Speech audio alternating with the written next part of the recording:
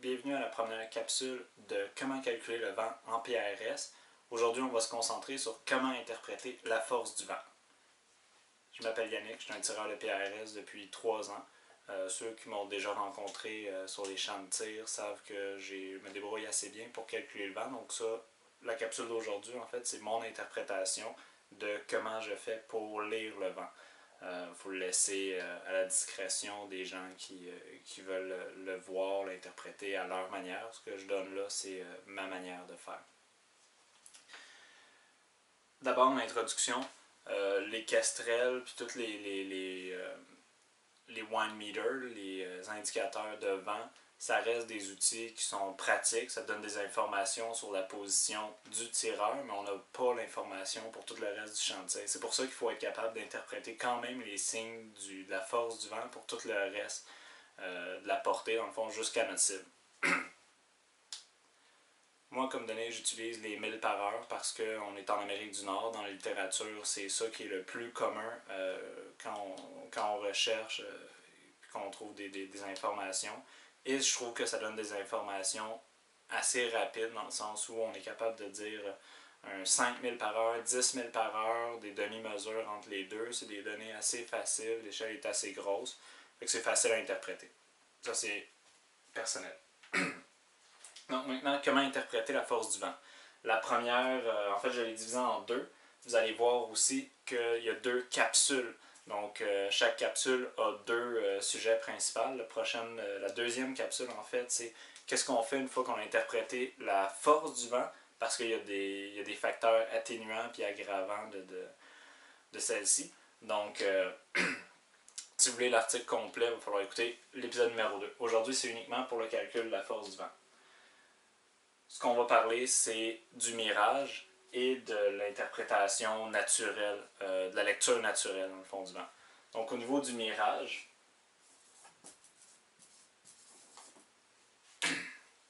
donc euh, le mirage, il faut comprendre que c'est la réfraction de l'air sur différents niveaux de température. C'est quelque chose qu'on est capable de voir l'été quand il fait chaud sur, admettons, du béton, de l'asphalte, ou même quand on part un barbecue, qu'on regarde juste au-dessus, euh, ce qu'on voit, c'est de l'air qui danse un peu en montant. Euh, ça, c'est ce qu'on appelle du mirage. C'est capable de t'indiquer le vent parce que quand il vente, ça fait déplacer les différentes couches d'air qui ont des températures différentes. Puis à ce moment-là, ça va danser à différents degrés. ça, ça me donne une indication, dans le fond, du, de la force du vent à la cible quand on regarde au niveau de la cible. Mais si on bouge le focus du télescope, ou qu'on se rapproche, admettons, on suit une route euh, qui mène jusqu'à la cible, puis on suit la route tout le long, on est capable d'analyser un mirage de, de, pratiquement genou jusqu'à la cible. Fait ça, c'est quelque chose qui est bon pour à peu près toutes les distances. C'est sûr que ça sert à rien d'analyser un mirage à, 5 mètres, mais pour plus loin, ça fonctionne. En gros, comment interpréter le mirage? Ben, c'est simple. Si on voit que ça danse euh, en ligne droite, ça va danser comme ça, mais vers le haut, c'est qu'il n'y a pas de vent. Plutôt simple, rendu là. Fait que 0 degré égale 0 vent. Pour se pratiquer à lire le mirage, on n'a pas le choix de, de, sortir, d'aller regarder dans un télescope et voir comment il réagit. C'est la pratique qui va donner le, la réelle expérience. Parce que là, on a beau parler en théorie, ah, ben, à tant de degrés, ça va donner tant de vent. Euh, si on ne l'a pas vu, on va avoir beaucoup de misère à l'interpréter. Mais ça, c'est faisable pendant une compétition de tir, même avant une compétition de tir, de juste prendre un télescope, un spotter ou juste les, euh, les télescopes qu'on utilise pour tirer, débarquer de la carabine, s'il vous plaît. Et on regarde euh, au loin, à 100 mètres et plus. On est capable d'observer ça quand c'est des journées chaudes, quand il y a du soleil. Euh,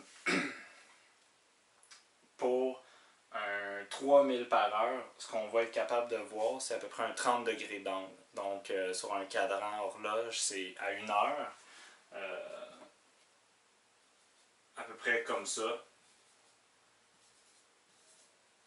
30 degrés, c'est un vent d'environ 3000 à l'heure.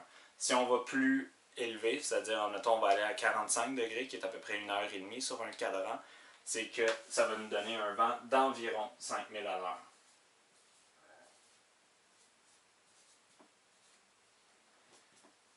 Si on va plus haut, on augmente la vitesse encore une fois. Moi, je vais me rendre jusqu'à 10 000 à l'heure et plus. puis les mettre à l'intérieur d'un 55 degrés. Donc quand on s'approche du 2 heures, on arrive beaucoup plus euh, à l'horizontale, c'est qu'on a dépassé le, 10 000 à l'heure, euh, passé ça. Euh, quand on tombe dans les degrés beaucoup plus précis, c'est-à-dire là 55, 60, 65 degrés, moi je je m'embarque pas, je m'embarque pas jusque-là. Fait que je vais dire 55 degrés, c'est du 10 000 par heure. Après ça, c'est qu'il commence à venter vraiment fort. Il faut commencer à compter sur d'autres choses en PRS pour, pour mieux le lire. Fait que 55 degrés.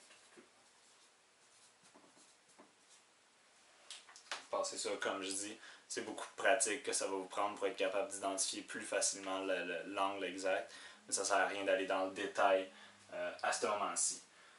Ce qui est désavantageux avec, euh, avec le mirage, en fait, la grosse limite de ça, c'est la température, les conditions. Si on a, tu es en train de tirer, tu observes ton mirage, il y a un nuage qui passe, c'est fini. Le mirage vient de disparaître, tu peux plus lire, euh, lire ça. Même chose, s'il fait pas assez chaud, il fait pas assez éclairé, euh, il n'y a pas assez d'humidité. Il y a beaucoup de, facteurs qui font que les mirages n'apparaissent pas toujours. Donc, euh, c'est pas quelque chose sur quoi on peut se fier. Par contre, quand il est là, c'est euh, très, très utile pour l'interprétation de la force du vent. Puis comme j'ai dit, on est capable de lire à la cible et sur tous les, degrés pour se rendre, tant qu'on est capable de, le voir, tant qu'il y a une surface qui fait de la réfraction.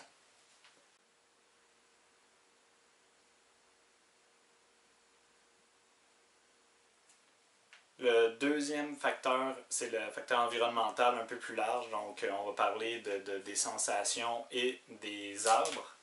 Donc, euh, l'environnement. L'environnement, ce qui est pratique, c'est que du moment qu'il y a des arbres, du gazon, des, euh, tiges de gazon, des bousquets, un peu partout sur, sur ton chantier, on est capable de le lire. Donc, euh, encore une fois, comme le mirage, faut sortir un peu, faut aller se pratiquer. C'est l'expérience qui va nous indiquer plus facilement quel type d'arbre, la manière qu'il bouge, donne à peu près quel type de vent. Mais euh, grosso modo, les grandes lignes, euh, en dessous des 3000 par heure, il faut considérer qu'on va avoir très peu de, de sensations, on va avoir peu de visuels. Ce qui va nous indiquer, par contre, c'est par exemple la poussière qui vole. Donc, s'il y a un tireur qui est en train de tirer, nous, on est sur, sur des jumelles, on regarde ce qui est en train de se passer.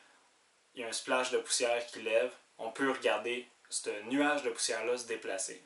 le nuage lève, se déplace tranquillement d'un côté, mais on sait qu'il y a un très peu de vent, mais il y en a un quand même. Euh, il, il, part rapidement, mais là, il sait qu'il y en a un peu plus.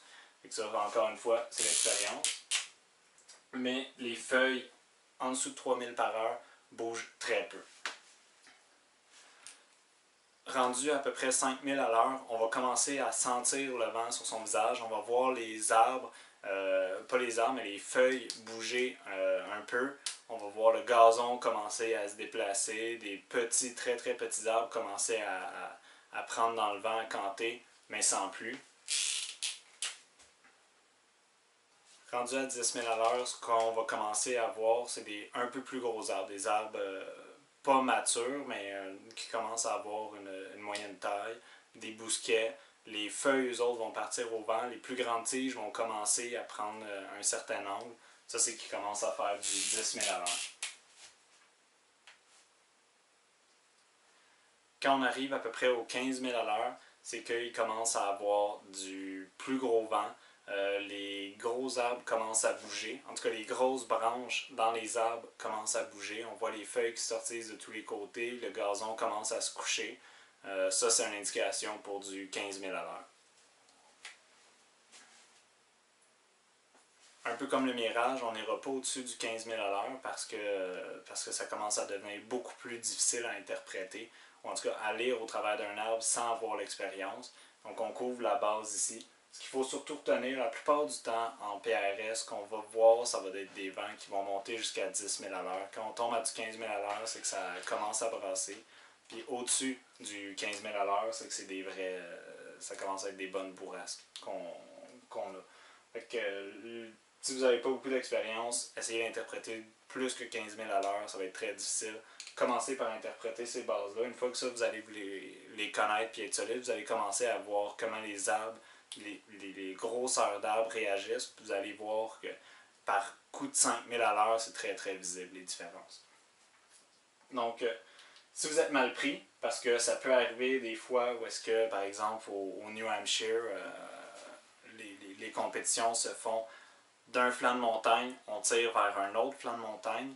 Euh, donc, ce qu'on a comme visuel, c'est un peu de sensation à notre niveau. Et on voit le visuel sur les, la pente au niveau de la cible. Mais entre les deux, c'est un gros trou, on voit rien.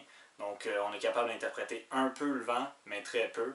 Ce qui peut nous donner de l'indication dans ce temps-là, il y a plusieurs choses. Il y a le vol des oiseaux.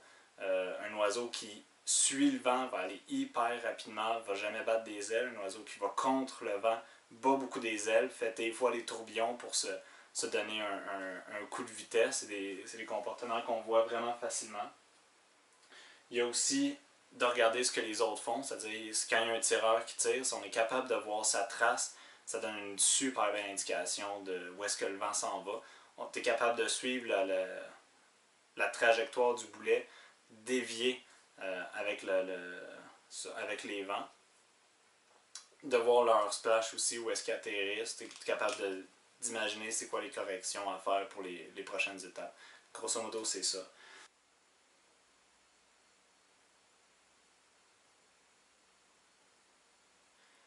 Va se voir pour l'épisode numéro 2. Euh, maintenant qu'on sait comment interpréter la force du vent, on va voir comment l'utiliser, comment la calculer selon d'autres euh, conditions.